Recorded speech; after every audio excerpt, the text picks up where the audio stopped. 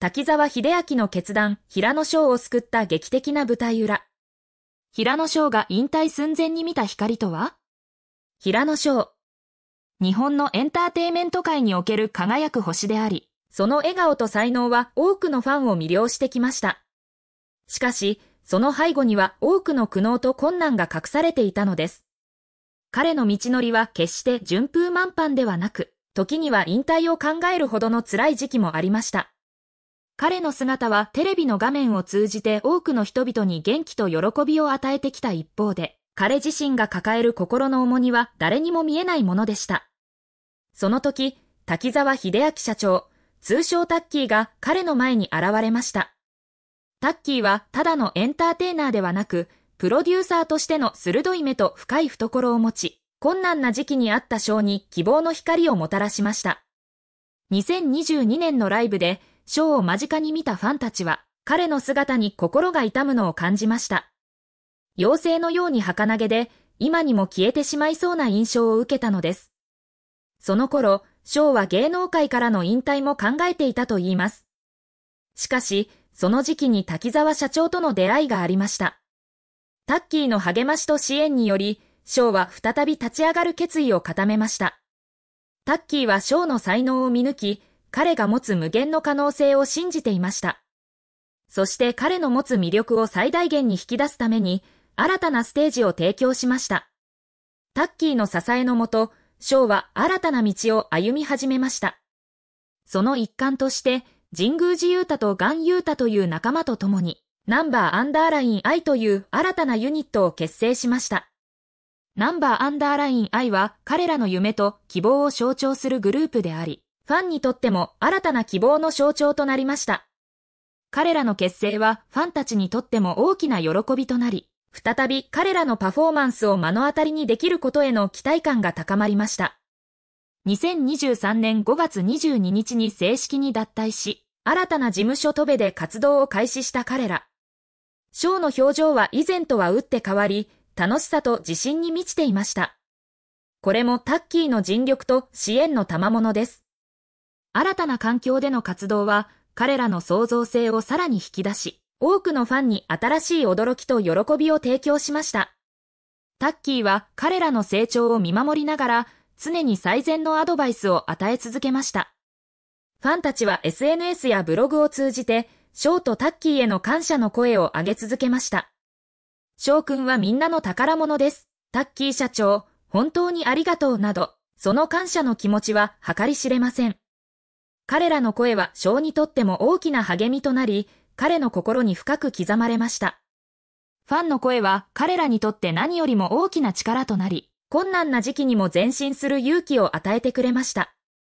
昭は今、神宮寺勇太とガン勇太という素晴らしい仲間と共に、新たなステージで輝きを増しています。過去の困難や辛い出来事はもう振り返らず、前向きに進むことを決意しました。ファンたちもまた、彼らの夢を一緒に追いかけ、支え続けています。これからのナンバーアンダーライン愛の未来は明るく、無限の可能性が広がっています。生が今こうして私たちの前に立っていられるのも、タッキーのおかげです。彼の先見の民と深い愛情がなければ、この奇跡は実現しなかったでしょう。タッキーのサポートは単なる一時的なものではなく、長期的な視点に基づいたものでした。彼はショーのキャリアを再構築するために、具体的な戦略と計画を立て、その実行に尽力しました。タッキーのプロデュースにより、ショーは新しい挑戦に直面し、それを乗り越えることでさらなる成長を遂げました。その過程で、彼は多くの新しいスキルと経験を積み重ね、それが彼のパフォーマンスにさらなる深みを与えました。ファンの一人はこう語ります。翔くんが生きていて、私たちの前に立ってくれること、そして心からの笑顔が本当に嬉しいし感謝です。タッキーもきっと悔しい思いをたくさんされたのだと思います。でも、これからはトベの皆さんが心の自由を取り戻し、素晴らしいエンターテイメントを生み出していけるよう願っています。彼らの感謝の言葉は、タッキーにとっても大きな励ましとなり、彼の努力が実を結んだことを実感させるものでした。ショーとタッキーの物語は、多くの人々に希望と勇気を与えてくれます。困難な状況に直面したとき、人はどのようにして希望を乱し、前に進むことができるのか。この問いは、彼らの物語から学ぶべき重要な教訓です。生が困難を乗り越え、再び立ち上がる姿は、私たちにとっても大きなインスピレーションとなります。彼らの物語は、私たちに希望と勇気を与えてくれます。エンターテイメント界の舞台裏で起こった奇跡と、ファンとの絆の強さを感じながら、私たちもまた、自分たちの人生における困難を乗り越えるためのヒントを得ることができるでしょう。これからも、ショートナンバーアンダーライン愛の歩みを見守りながら、彼らが新たな高みを目指す姿に励まされていきたいと思います。彼らの未来に幸いあれ。最後に、私たちは一つの問いを心に刻みたいと思います。困難な時期にあっても、どのようにして希望を乱し、前に進むことができるのかこの問いは、ショーとタッキーの物語から学ぶべき重要な教訓です。彼らの物語は、私たちに希望と勇気を与えてくれます。エンターテイメント界の舞台裏で起こった奇跡と、ファンとの絆の強さを感じながら、私たちもまた、自分たちの人生における困難を乗り越えるためのヒントを得ることができるでしょう。これからも、ショートナンバーアンダーライン愛の歩みを見守りながら、彼らが新たな高みを目指す姿に励まされていきたいと思います。彼らの未来に幸いあれ。ショートタッキーの物語から皆さんはどんな教訓を得ましたか？